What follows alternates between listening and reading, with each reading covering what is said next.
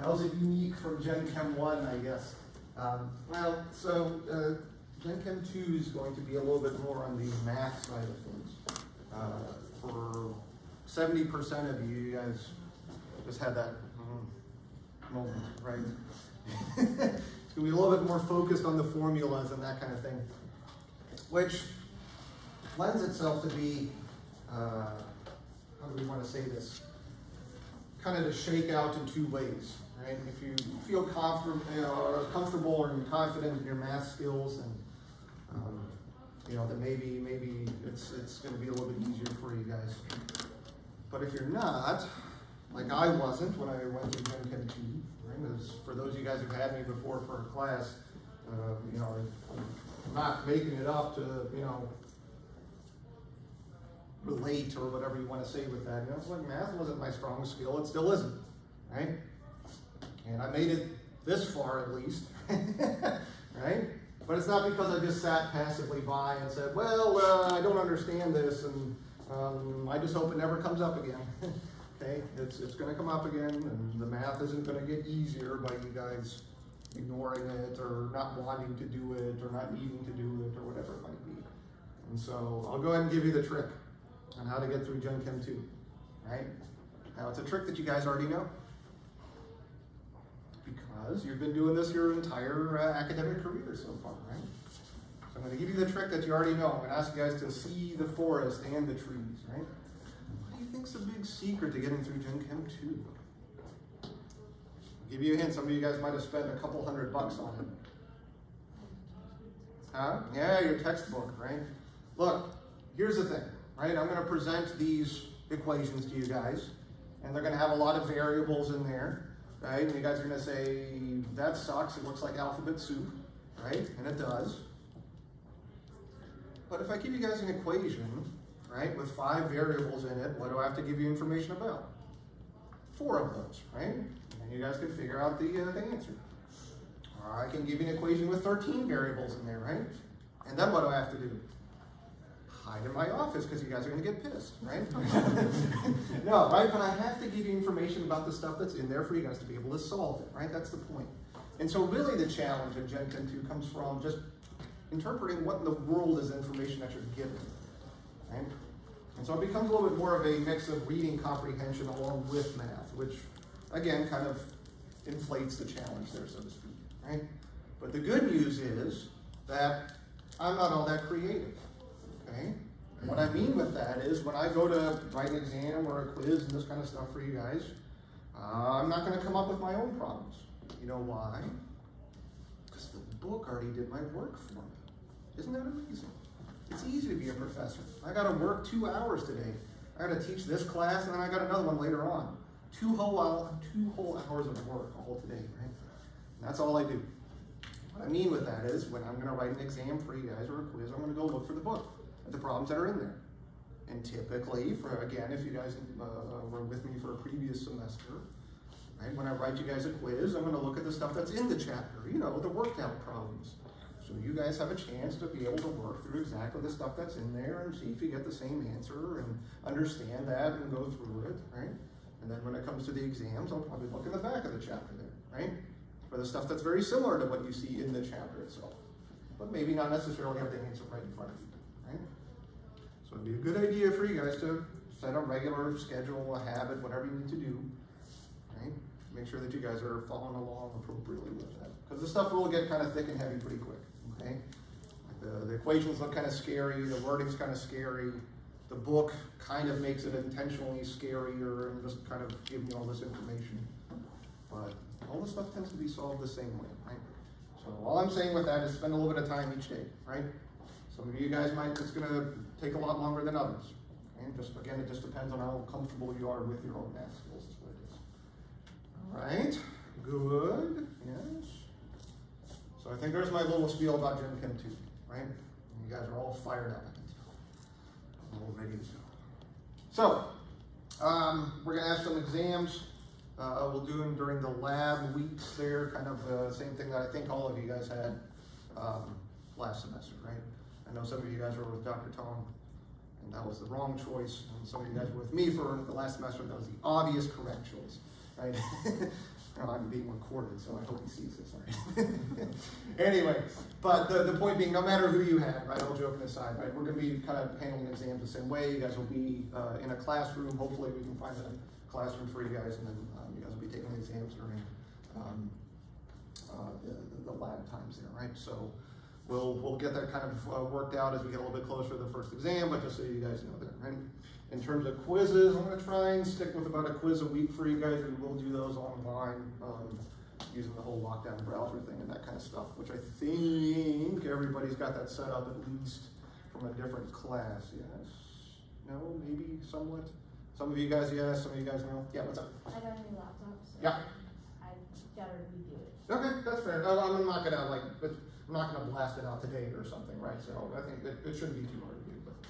But uh, that's what we'll do in terms of quizzes because I get the feeling that um, you know people will be uh, still kind of in and out all semester long, given the circumstances, right? So we'll see we'll see how we can avoid any um, let's see makeup exams and quizzes and that kind of stuff. But you know we'll we'll adapt as we can, right?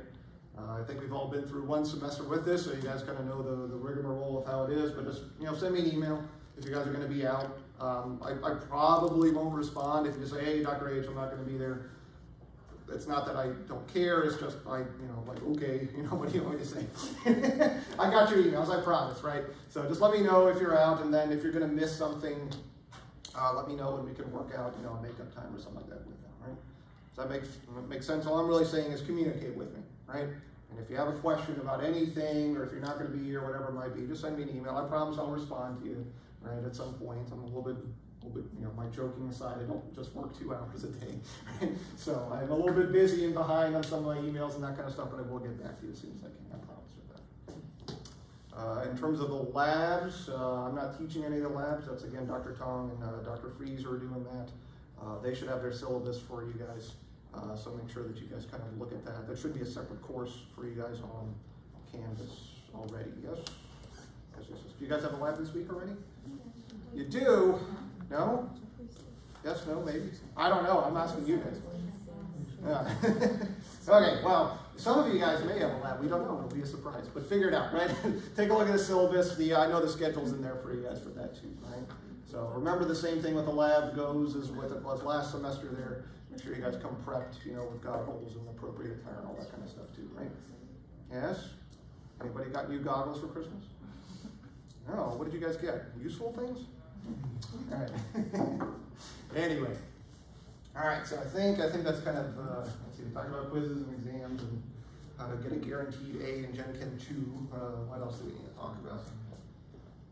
Um, I'm going to be recording the lectures. I'm going to be posting them to the YouTube channel there. Um, I'm going to try and, like I know I said you guys had an announcement about this too, but I'm going to try and figure out um, how to get teams concurrent with a recording and all this kind of stuff. But technology um, is missing. So we'll, we'll try and figure something clever out. But if you guys are gone, there's always going to be a recording. It's always going to be online. And uh, the good news about that that you can watch me at double speed, right? And so one hour class just flies on by, right? So, but anyway, uh, so if you do miss something, you're not going to be missing a lecture is kind of what it is. And hopefully we'll get the whole team things kind of settled too. Okay. Let's see, what other managerial things that I have to chat with you guys about. Um, I think that's it. I do you guys have any immediate burning questions? Yeah, I'll get, I'll get. I, that, that's where I'm. That's where I'm coming. All right. So, since you guys know everything about everything, which is like you said, you guys didn't have any questions, I'm going to go ahead and make a prediction. Now, what you guys didn't realize is that when you do become a professor, you get certain uh, superpowers, right? One of these things is I can predict the future, right? Now, it's nothing useful, but I'm going to predict, right, a certain percentage of you guys are going to start to struggle in this class at some point, right? And you look at me and you say, that guy's scary because he has a red tie. So I'm not going to go to his office hours, right? Um, let's see. And then you're like, well, uh, I don't know what to do then, right? I don't know where to go. I'm not quite sure where to get help. Well, you're on your own is all I'm saying, right? No one's there to help you and sorry, right? No, right? Of course not. Look, there's plenty of help for you guys. I'm always in my office, okay? I've got office hours. I can't even remember what's on the outside of my door, okay? But I'll be there during that time. I'll figure it out. right? I think it's like in the afternoons on Monday to Wednesday or something like that, okay? But I'm usually in my office a lot outside of just, you know, the, the, the office hours that are there, right? So you're always welcome to come by and knock. I'm there and you guys come by and you say, hey, Dr. H, do you have a couple minutes? I'll say two things. Yeah, or no, come back later, right? That's it. I'm not going to get mad at you. I'm not going to get upset at you. I'm, my job is here to help you guys out, right? And the only way I can do that is if I'm in my office and now you guys know where I am. I'm on the second floor, right? And come by, knock, hey, do you have a couple minutes? Yes or no. I'll answer yes or no, and we'll figure something out, right? So what I'm saying is if you got a question, just come by and see me, right? If I'm not in my office, I'll be back soon or whatever it might be. I am human, so I do eat, right? So I don't, you know, I don't really have one of those out, you know, out for lunch signs, but I'll, I'll be around and I'll be back, right? Otherwise, send me an email and say, hey, Dr. H, can we set up an appointment? And if you send me an email like that, just tell me what time do you guys have available. Because I get a lot of emails say, hey, Dr. H, are you available? And I'll, and I'll immediately email back, what time do you guys have? Right? And then you'll email me that information anyway. So we'll just we'll simplify and just say, just tell me what time you guys are uh, Do you have time to meet Tuesday at 3 o'clock? Right? And I'll say yes or no. Got it? So that's fine. I'll get back to you guys. Okay. Now, if you don't want to come see me, right, uh, we also have Laura, who's in the tutoring center over there. Um, Laura, do you want to come and give a quick this and that? Yeah, do you want me to watch it? Uh, of course I do. No, no one, they don't want to turn around and just want to stare at you in the corner. I do like the morning. Okay, hi everyone, I'm Laura. Um, if you came to me last semester, you already know me, but I'm the tutor for all the chemistry classes. So if you have friends in other chemistry classes, you can come with them to see me for tutoring. Um, so tutoring for me this semester is gonna be a little bit different, just because I have a more crazy schedule. So I won't be having regularly scheduled tutoring hours every week. That way I'm not just sitting in the tutoring room being sad because no one is coming to see me. Instead, I'm just gonna be on my computer all the time and you can message me or email me and we can set a time up. That way, we're both getting the most out of our time together and we're not just sitting around waiting for the other to be available. Um, also that way, we can have longer periods of time if you want to set up a one-on-one, if you want you and your study group to come in. There's just more flexibility that way. Um, so you can email me. My Ava email is just like laura.osborne, blah, blah, blah, blah, blah. Um, I'm also on the Tutoring Center Teams page, which you should all be on from last semester. If you're not on it, that's okay. You can just Google like Tutoring Ave Maria and get in there. Um, but you can just message me on Teams. That's probably like the fastest way to get to me. And then we can just set up a time. So because I won't be having those regularly scheduled hours, it'll just be whenever you guys want. Another thing I'm gonna be doing is I'm gonna start hosting review sessions before y'all's exams. So I'm gonna get the syllabus from Dr. H, and every time y'all have an exam, or maybe a bunch of you have a quiz you're really worried about, we will just set up a time either in this classroom or in the library or something, and we'll just come and we'll talk about whatever, we'll work through whatever homework problems. But that way we can all be together and it can be right before your exam. Because sometimes if I say only have tutoring hours on Wednesday and your exam isn't until the next Monday, you don't come see me and then you just have five days of study by yourself. But this way we can do it like maybe the night before, maybe two nights before, so that we can really drill in whatever y'all want done before your exam. So I'll be sending out messages probably in y'all's like Canvas page or something about like review sessions and that kind of thing. We'll probably try to do evenings, I think just because that works better for people, but we'll cross that bridge when we get to it. So reach out to me if you want help. Besides that, I'll be around for review sessions so you won't forget I exist. And that's basically it. They should be able to contact you through Canvas also, right? Yeah, if you go into your, I'll be like in your Canvas page. So if you get into Canvas, you can find my name and click on it and message And me. I'm sure you'll post this kind of information there uh, when you- Yeah. when you get a minute too. So, Yeah, so I'll by probably, email, by Canvas, by Teams. all that kind of stuff. If you see me, you can also like nail me down, that too. And I won't Well- remember who you are, but And they'll recognize the top third of your face, right? So. Exactly. But yeah, so I'll send this also out like in a Canvas thing, so you all that information and all that. And what is it, this semester, it's only thirty-five dollars an hour? Is that what it is? Uh, fifty. Oh, it went up, oh my goodness, jeez. No, it's free, you're fine. Absolutely free, So right? You guys are already, me to help you. Right. so that you don't have to. You guys are already paying for these services, right, is what it is. So, you don't have to do it, but it's your, you're right, it's your choice, and it's available, and it's there, and, uh, you didn't, you didn't take Gen Chem with me, I forget now, right? No, I took it very, very long time ago. Yeah, right. But Laura's, uh, Laura's, uh, been, uh, is a senior now, right, and graduating in biochem, so she absolutely knows what she's doing with it. all chemistry classes here. There you go. Where else would you take? right? No other, no other choices. right, so Laura absolutely knows what she's doing, and, and she's also, uh, she was in my organic class, and so when you guys get through organic, uh, well, never mind, you're graduating, right, so. Yeah. You, okay, well, you can contact her at med school or wherever she's ending up, right, so. But it's also like, I know how he tests or all that kind of stuff, so if this is your first time in the class. Yep. I have all the tips and tricks. That's right. So she'll prep you guys for the physical fitness portion of the exams, right? Yeah. Ten push-ups while doing That's easy, all right. So anyways, I think that's all the stuff that I really needed to share with you guys. Um, again, if you have any questions, just swing by or contact me or Laura. Joe is not tutoring. Do not know if there are any other chemistry units this year. I'm not sure. Chase the rest of them away. Makes sense. All right, very, very rigorous. You get to talk to me that much more. All right, cool. All right, so if you guys have any questions, then, you know, feel free to reach out to me, and uh, we'll, we'll get right to it then. So, um, all right, so where we're gonna start, I guess, is a little bit of a review uh, from Gen Chem 1. Now, the reason why we kind of start here, and if I had my ways, we'd kind of put this at the end of the semester because it's a natural progression uh, into, uh, into um, organic chemistry, but unfortunately, I don't make all the decisions here, or fortunately, I don't make all the decisions. But what we want to talk about is just why things are solid, liquids, and gases, and what influence does that have, or what do we need to pay attention to, or why do we care, right? That kind of thing. So I'm kind of drawing together uh, parts of chapters 11 um, and 12 into here. Um, I know we already talked some about chapter 11, uh, but we're just going to kind of review that a little bit because it's uh, honestly one of the most important parts of all of chemistry. And, um, and then we'll kind of tie into some new ideas here that will relate to the next chapter we'll get into, which is kind of the solubility and solutions and that kind of stuff. Okay. So we're going to talk about the intermolecular forces as kind of the main, the main idea here. Now, we're going to talk about something that's new, right? Did you know that there are different states of matter? Wow, right?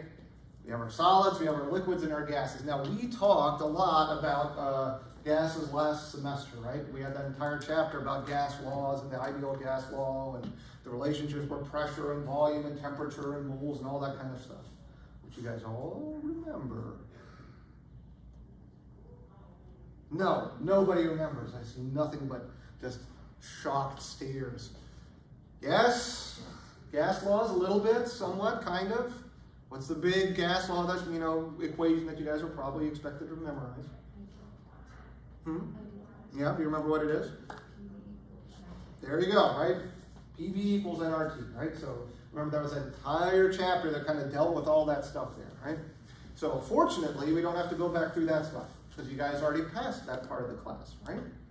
Now, we're going to be coming back to some gas law type stuff a little bit later when we talk about equilibrium, right? But, uh, the, you know, we, we, we, I guess the point I'm trying to make is we understand what's going on with gases and what it is.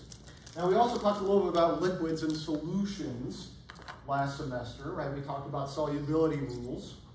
You guys remember those? A little bit, maybe, kind of. You guys remember the precipitation reactions? Where you guys mix two ionic solids and something precipitates out, right? You guys have to predict the net ionic equation and the complete ionic equations, yes? Did we ever talk about why certain things are soluble, though? Or did we ever talk about why certain things are insoluble? Uh, no, we just kind of looked at that table of solubility rules and went through that, right?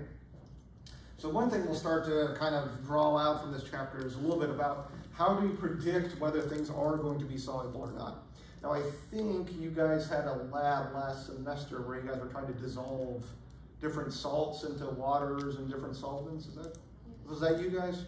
Right? So you guys started to talk a little bit about this there, right? And so we'll kind of just uh, put the pin back into it here just so it sticks, right?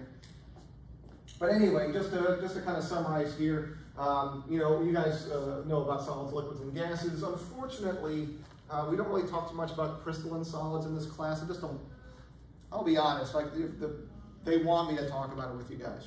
And then they want us to sit there and look at unit cells and okay, here's a face-centered cubic and blah, blah, blah, blah, blah. Just, it doesn't, it doesn't add anything to you guys, right? And, and so my, my view on things for you guys who are new is I'm not gonna introduce anything to you guys that either, how do I wanna put this?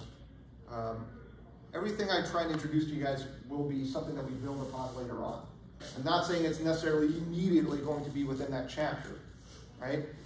And if you go back to what I was just talking about earlier, I said this is one of the most important chapters, not just because of what we're going to do in Gen Chem, but for those of you guys who are going on to organic. How many of you guys are going on to organic chemistry? All right, so I'm going to see you guys again, probably. All right? For those of you guys who are going on to organic, these intermolecular forces are key essential ideas and concepts. And when I get into the first semester of organic chemistry with you guys, I'm going to ask you guys a question. I'm going to ask you guys, what do you guys remember from Gen Chem? And you know what answer you're going to give me? Yep, that answer right there, right? the dead silence. uh, I don't know, Dr. H, that was like two months ago. I don't remember that, right? But here's the thing with, with chemistry, and, and, and again, maybe I, uh, you know, I, I, I, don't want this to be story time with Dr. H, but um, I wasn't always a chemist.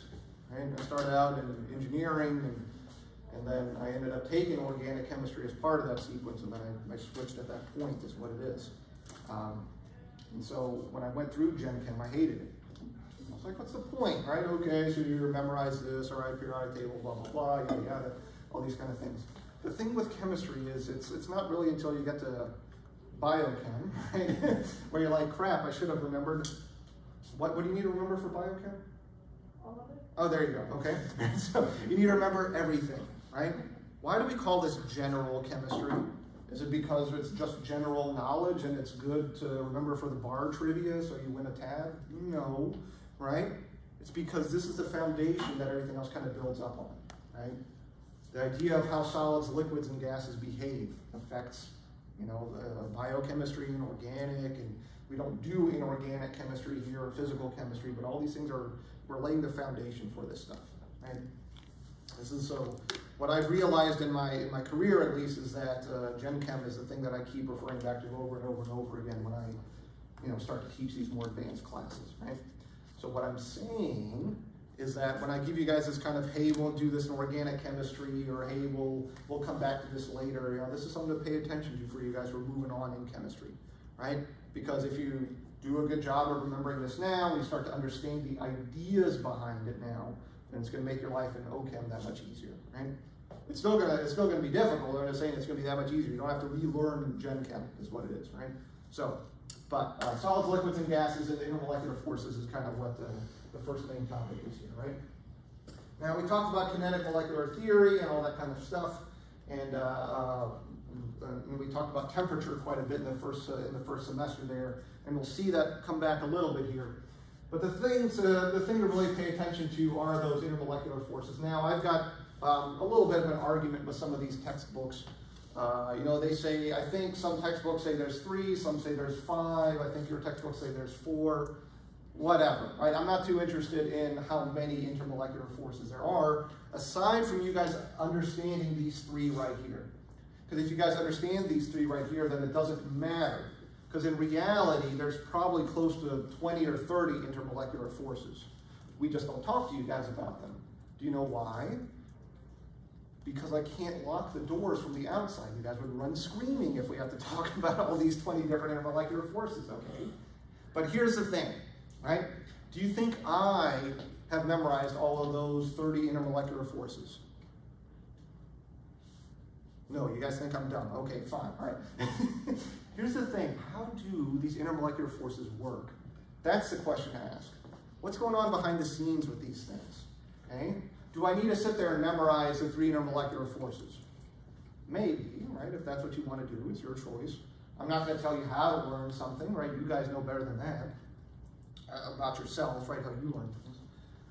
But what I want you guys to think about a little bit is how do they work? Right? Now, they're on the screen there, right? There's kind of an eye exam, maybe if you're in the back of the classroom, right? But my lecture slides are online for you guys too, so you can print them out and, and, and, and um, uh, bring them in if you'd like, right? So what are the three intermolecular forces? What do you guys remember with that?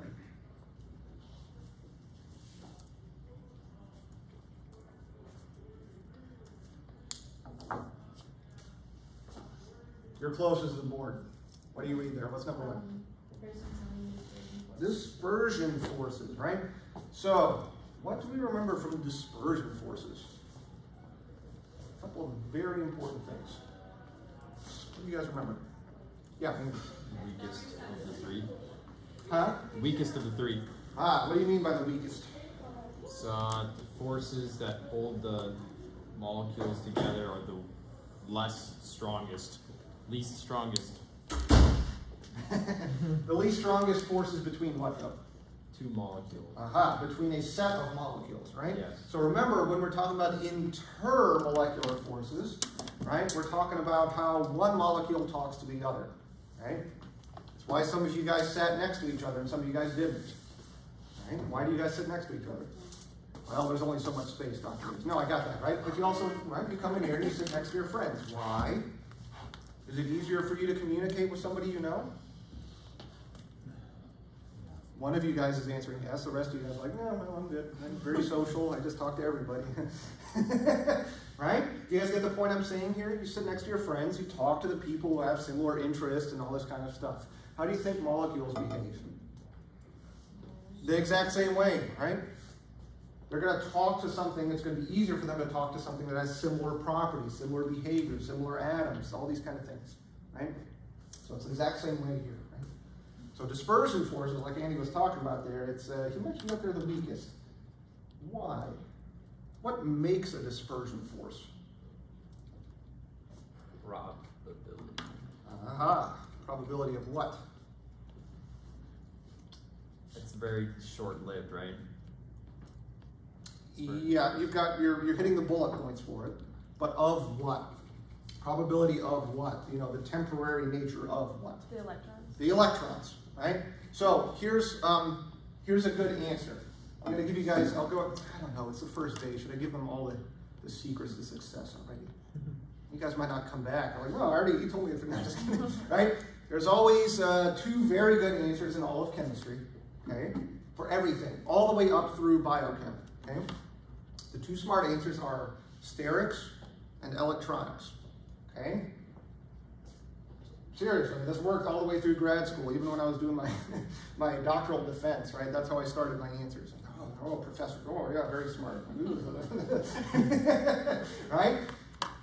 Sterics and electronics. Sterics is basically the uh, an argument arising from where atoms are, how they are arranged. If you remember back in Gen Chem, we talked about geometries. Right? Linear and trigonal planar and tetrahedral and octahedral and bipyramidal and T-shaped and blah, blah, blah, blah, blah. Yes? All those that you guys all have here still? No, none of you guys. Man, who did you guys have for Gen Chem? That guy must have stuck. Oh, it was me, crap, right. right? But that's the that's the sterics, okay? How the atoms are arranged, how the molecules are physically arranged, okay? Electronics deals with where the electrons are, okay? If we know where the electrons are, we know how to do chemistry. Why? Well, what does chemistry? The electrons, okay? All of the chemistry that you guys are going to learn from now until the end of time, well, unless you guys become nuclear engineers, right? So, with the exception of nuclear engineers, the chemistry that you guys are going to learn are where the electrons start and where they end up. That's really it, okay? And that's why I became a chemist, because I can remember two things, sterics and electronics, okay? So if you guys can remember that, then sorry, you got to become a chemist. Right? You've got no other choice. Right? Oh wait, we don't have a chemistry. Do you guys still have a chemistry minor here now? I forget. Is there still a chemistry minor? Okay, so you can become a partial chemist, which is yeah, not too bad, right? But anyway, so those are the two two smart things there, right? So when I ask you guys a question on an exam maybe or a quiz, and I say explain this idea to me, and you're like, I don't have a clue on how to answer that. Go back and think about those two places to begin with. Because when I ask you a question, why do dispersion forces happen or where do they originate from? And you're like, I don't know. Your first thought should be, well, does it have to relate with sterics? Maybe, right? Does it have to relate with electronics? Maybe, right? And then you start to branch your way out from there, right? Can you explain those two again, sterics and electronics? The kind of the definitions? Just what, it, what are they?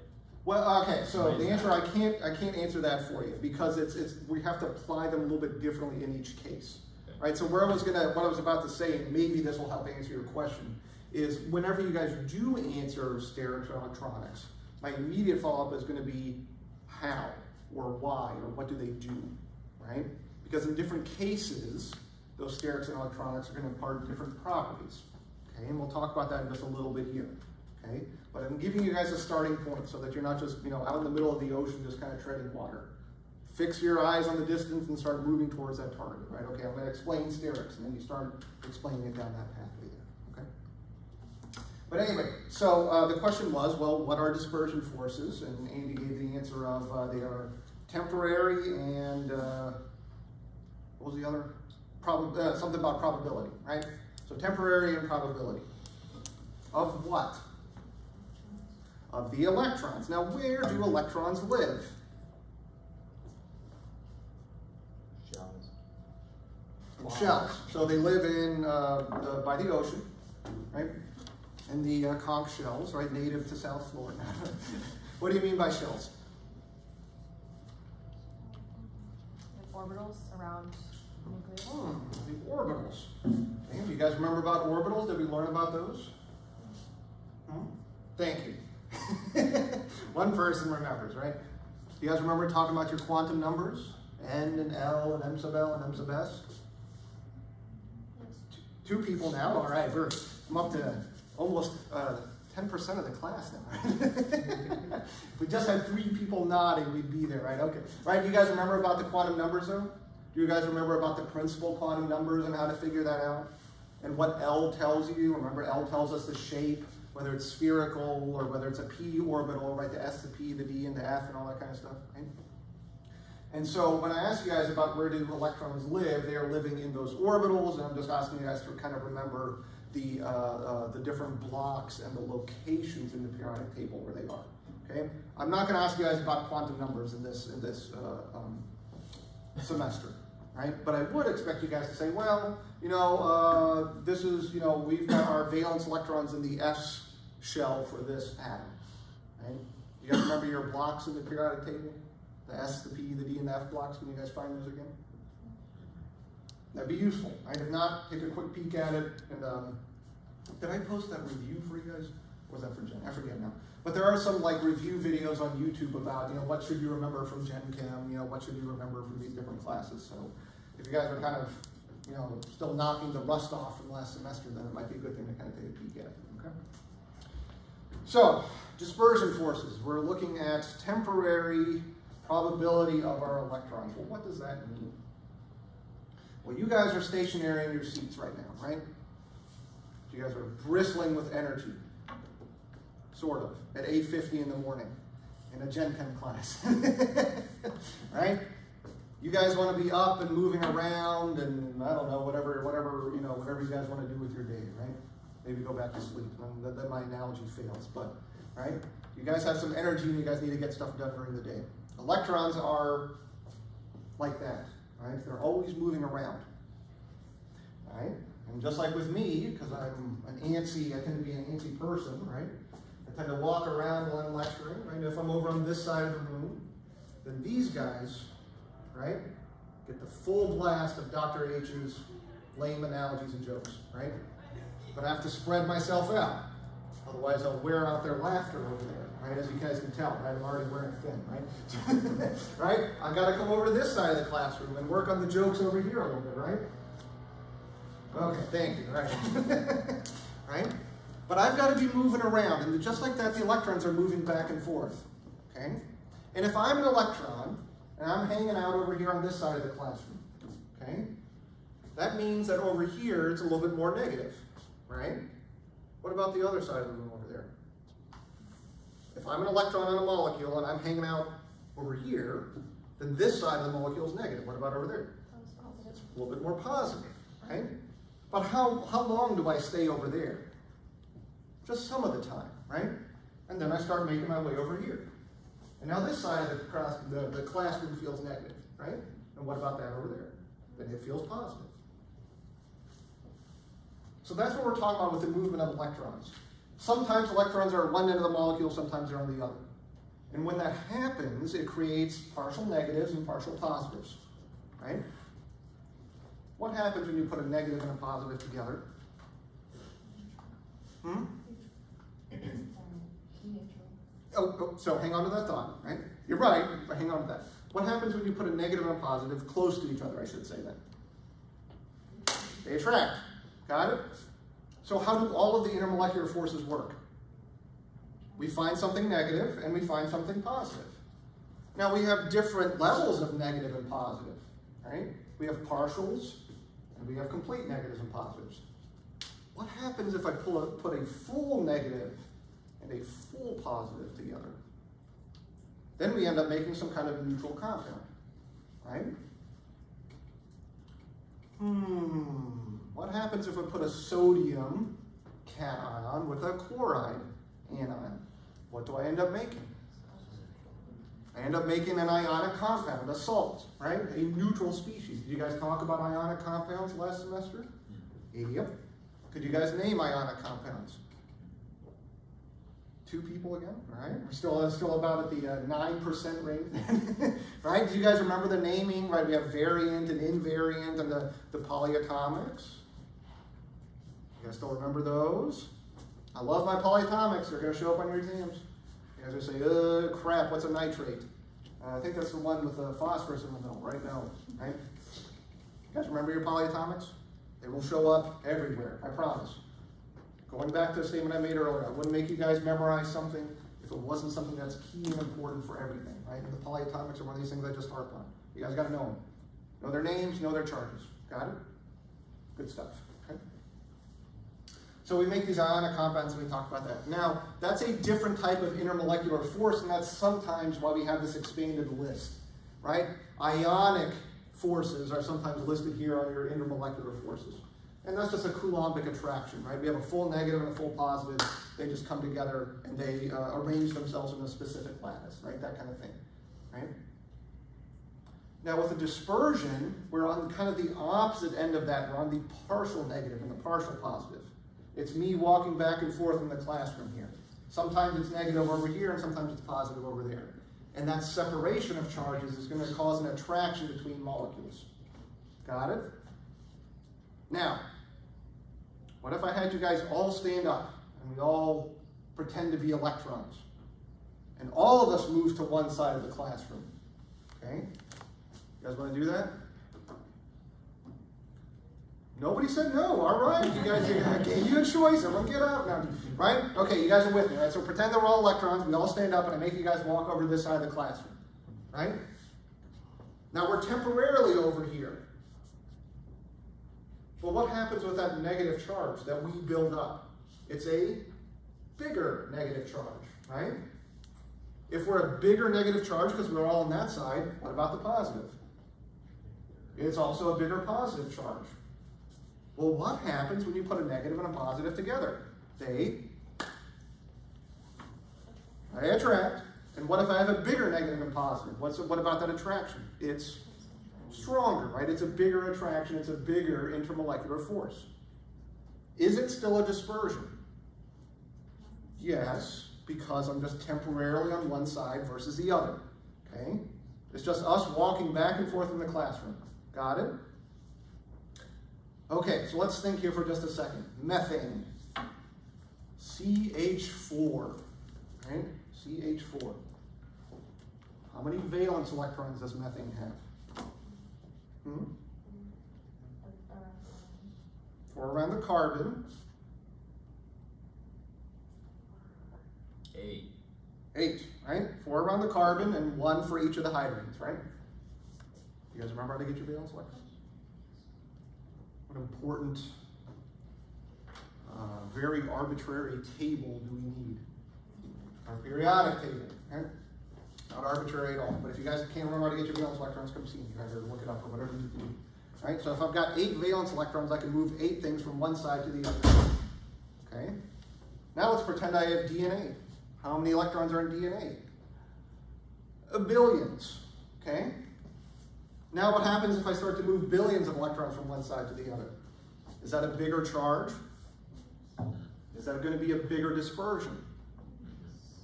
What do you think is one of the most important things that DNA uses to attract or repel other molecules? Where it actually does come down to its dispersion. It's massive. It's got a huge dispersion force with it. So the bigger the molecular weight of a compound, right, the higher its dispersion forces. That's what the book says. Does it have anything to do with the actual molecular weight, though? Did I mention anything about weight until the last 30 seconds? No, so does it have anything to do with the weight? No, what does it have to deal with? Hmm? The amount of electrons, right? That's all it comes down to, right? It just comes down to how many electrons there are. Is iodine heavier than fluorine? Is iodine heavier than fluorine? Yes. Does that matter in terms of its dispersion? No, what matters is its electrons. Got it? Why? Now we could argue about why iodine is heavier and all that kind of stuff, and you know we could talk about protons, neutrons, yada yada yada, right? But you guys get the point? It all comes down to the electrons. And the odd thing about dispersion is it's either the weakest force or it's one of the strongest. When you get to large molecules like polymers and things like that, it's one of the dominant forces in, um, in the intermolecular, right? But you kind of have to get to pretty heavy stuff for that. And so that's why in the textbook it says it's the weakest, because we tend to deal with really small atoms, or excuse me, small molecules in here, okay? But understand that it's, you know, you can get on both sides of the spectrum there with that thing. Okay. Good? What do we got next? So dipole, dipole. All right, I'm gonna ask you guys the exact same set of questions. What in the world is a dipole, dipole charge?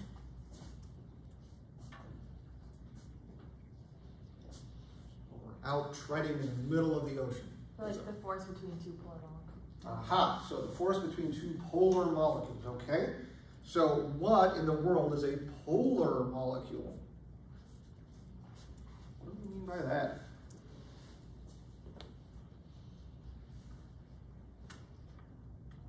Have like a high partial charge?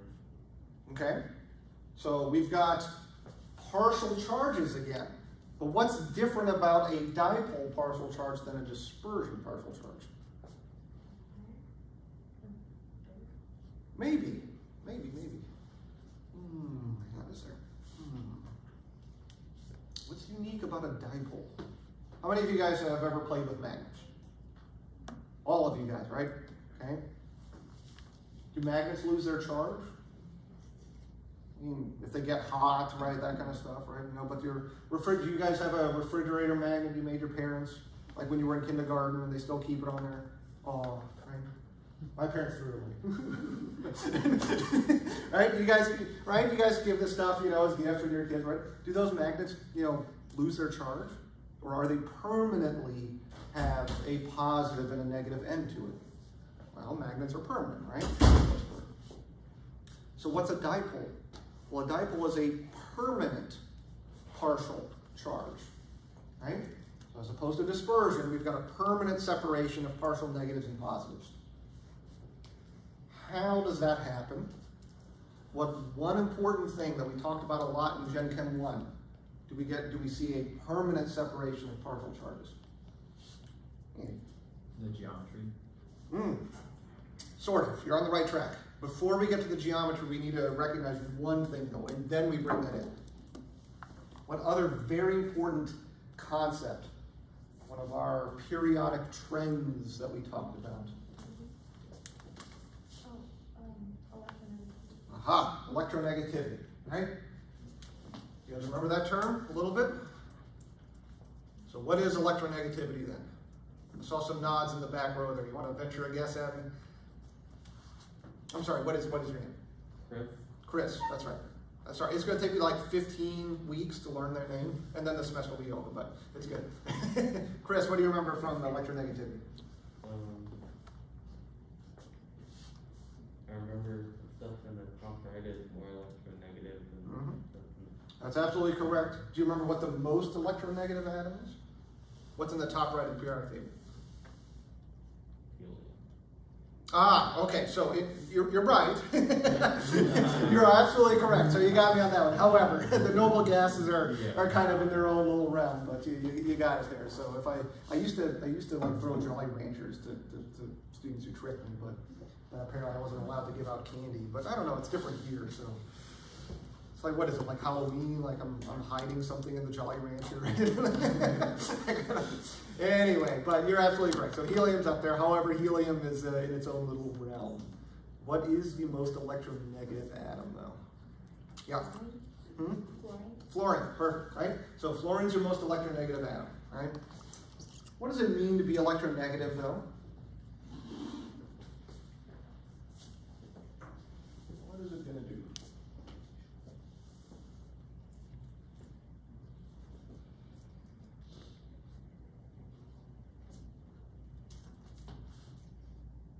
Higher disposition to attract electrons. Hmm? Higher disposition to attract Aha. So it has a proclivity, a tendency, a disposition, as, as Laura said there, to attract electrons. How do you attract electrons?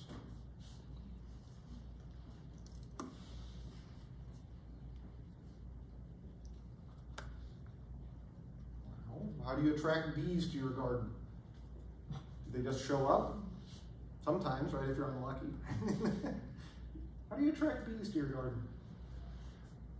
Or butterflies, sorry, let's make something a little bit pretty. Right? Or hummingbirds. Do they just show up for no reason? No, you gotta give them a reason, You gotta right? have a big garden.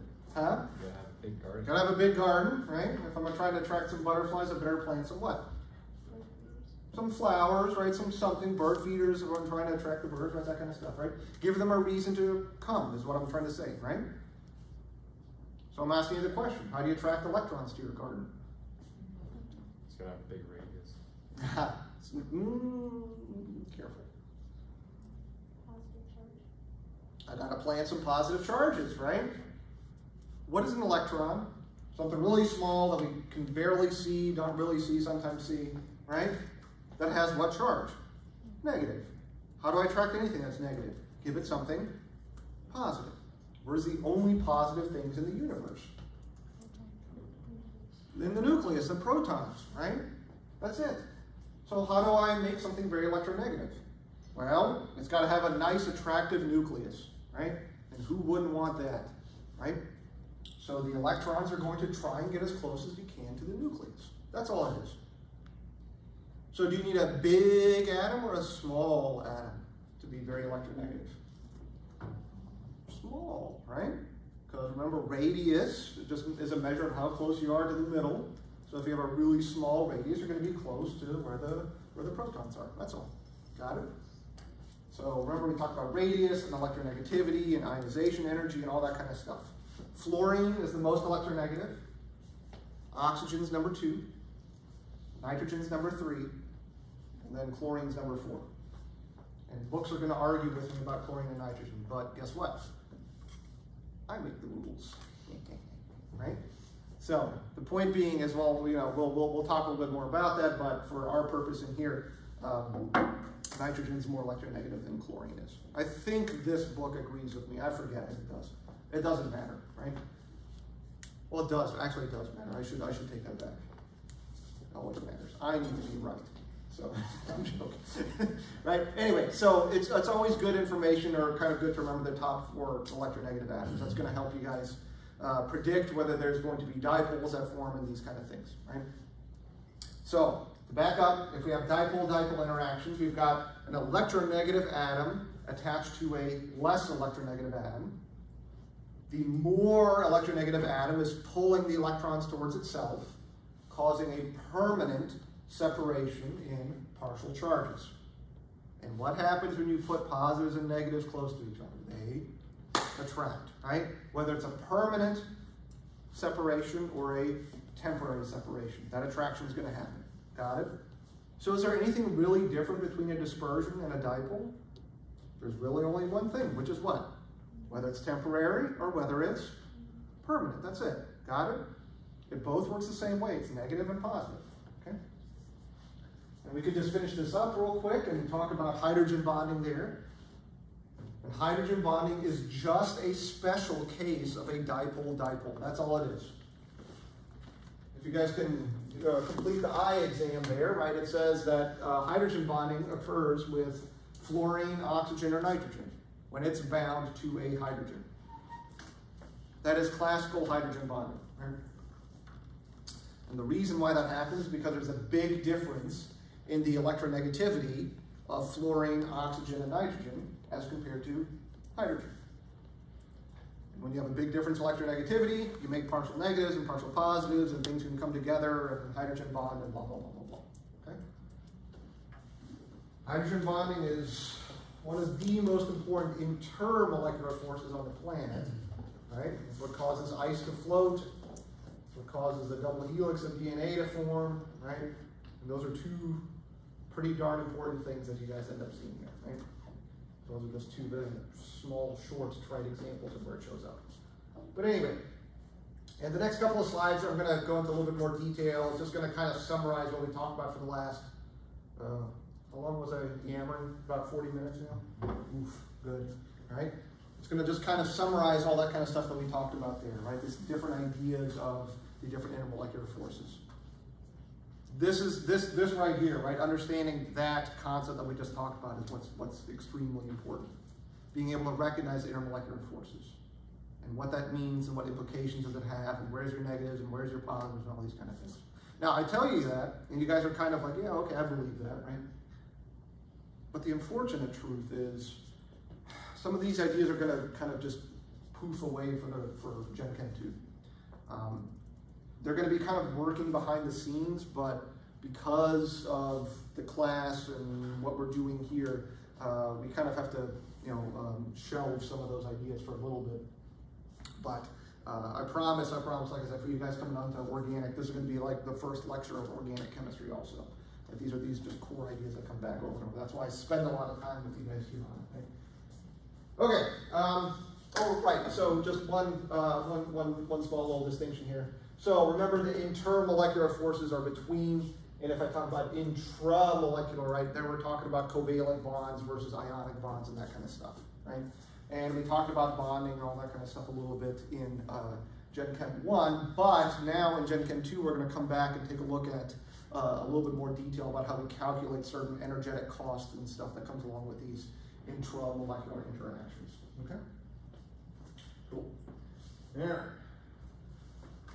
So just a little bit of a uh, visualization there, right? There's uh, what we talked about with dispersion forces, moving electrons from one side to the other, right? And just uh, the, uh, the, the, the, effects of that and whether we have partial negatives and partial positives. What we didn't talk about is the term of polarizability there, right? Well, I didn't mention that term, I should say. We did talk about it. That's all it is. So when you read in the book and it's talking about polarizability, it's just talking about the electrons moving from one side of the classroom to the other. That's all it is. Okay? It's squishiness, scientific squishiness. Can I shift things from one end of a molecule to the other? Okay? The more I can polarize something, that just means the more I can spread it out. The more I can create that separation of partial charges. That's all it is.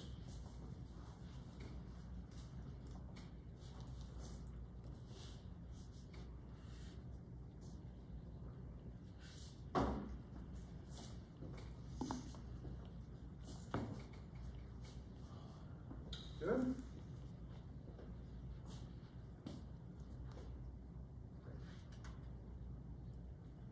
And there's just a little bit more of a visualization of this, but it brings an important idea also, which is why I like this picture. So I asked you guys a couple times about what happens when I put a negative and a positive together. And you guys told me you attract.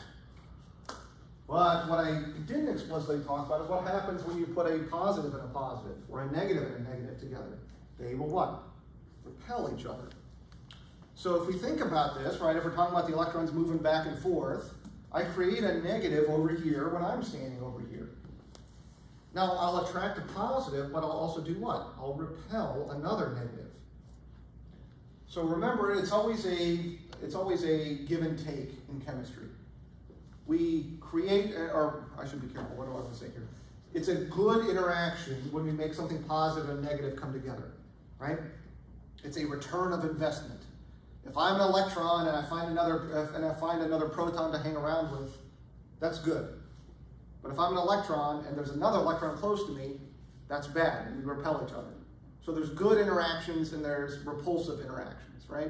There's positive interactions in the, in the positive, in the good definition, right? And there's negative interactions in the bad definition. Does that confuse you guys? I should be careful using positive and negative when we're talking about charges here and that kind of stuff. Do you guys get what I mean with this? Negative and positive good, positive and positive bad. That's all I'm saying, right? So remember, in all of these interactions, this is going to occur, right? Because the principal idea behind every intermolecular interaction is, hey, I've got a buildup of negative, I'm going to attract something positive. That's all it is, okay? Whether it's temporary or permanent or whatever it might be, right? And so they just have a visualization here about how we can see some of these repulsive interactions also. All right. So here's kind of a table um, uh, for some of these different things that we didn't explicitly talk about. The book talks about ion dipole forces. I'll go ahead and summarize that whole part of the chapter for you. It's something negative attracting something positive. Okay? Ionic bonding, we talked about that quite a bit last semester, right? So I'm not really going to talk about that here, right? It's how we know when ions form and how to name them and what are the charges and can we balance them and whether they're soluble and all that kind of stuff that goes along with that, right? The Coulombic, the completely Coulombic attractions, right? But what's useful is they kind of give you guys a little bit of a scale of energy there. And what is important to recognize is that ionic bonds are really, really, really strong bonds, okay? Until they're not, but that's a different argument to be had, right? The more, I'll get, I'll get to you in a second. Right? So the, the, the idea is this, right? Why do we even see a scale in the ionic, excuse me, in the intermolecular forces? Well, right? It all comes down to how much of a positive or negative we have. Okay? That's where the difference comes in. The bigger the positive, that means it's more attractive to negatives. Make sense? That's all it is. Okay? What's that? So are, is ionic bonding inter, intermolecular and intramolecular? Yes. Okay. Yeah, they the, the the difference comes into how do ions arrange themselves in solution um, and in the solid state. Okay. Right? There's not a if you think about sodium chloride, there's not a discrete sodium and chloride we can pull out. Why do we call it that then? Is because that's the smallest repeating unit in that system, Mm. right? That's the smallest neutral system. But if you if you could zoom in on uh, sodium chloride, you'd see it's just an infinitely repeating lattice of sodium chloride, sodium chloride, Mm. sodium chloride. So right, so you just pull out the smallest unit, and that's what we discuss, Okay. right? Because you're right, it's just you know sodium is just a spherical ion. It's going to attract things from every direction, and that's in fact what happens, Okay. right? So it's it's a little bit different. That's why I say yes to both of those. Cool. All right, so I think that's kind of a good place to stop for today, right? We kind of went through that nice review there.